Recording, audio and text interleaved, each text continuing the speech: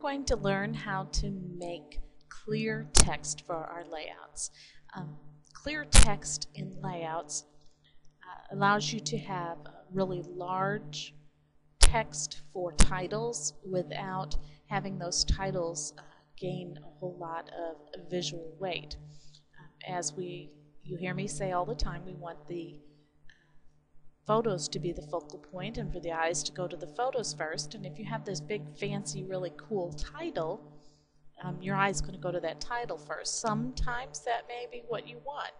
Uh, you may want your eyes to go to that title first, which will then uh, make you seek out what's in the photos. But um, for those, for most of the time, you do not. And so uh, here's how to quickly do this on any background. You see I have three layers of text here and um, they're each a different color. And I'll show you why here in a little bit but I'm going to go ahead and make these two invisible and we're going to work with this uh, gray gray one first. Um, to make this 50% gray which is required uh, for this to work properly you may remember this from some other tutorials. I'm going to go up here and you'll notice in the HSB boxes uh, the first two are zero and the last one is 50%. The, the brightness one is 50% and that makes a 50% gray. Um, you can note here it's also 128, 128, 128. Uh, that will also get it, but it's easier to remember just to put 50% in the brightness. And so we have a 50% gray uh, title here. And if you change that to the blending mode, with the way blending modes work, um, if this is a 50% gray and you choose the overlay, you'll notice it makes that text disappear. That text is now clear, but it's so clear we can't even see it.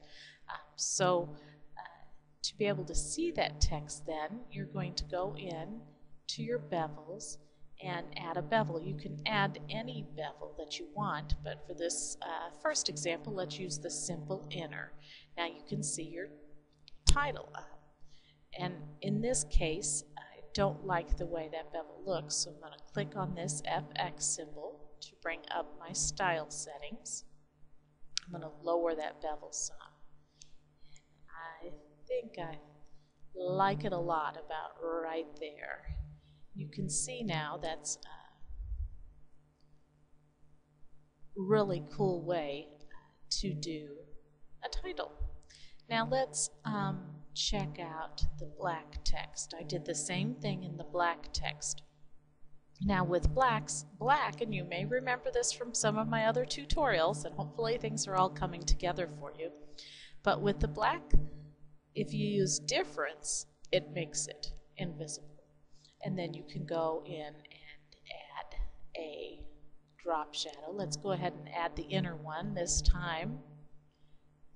Let's change it to a down direction. Now you can see how cool that is. Excuse me, I'm kind of trying to get over a cold. Now let's go to the white one.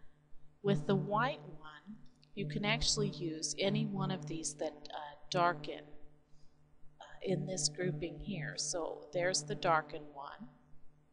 Multiply. You can see they all are invisible. There's the linear burn and the darker color. They are all invisible with this white.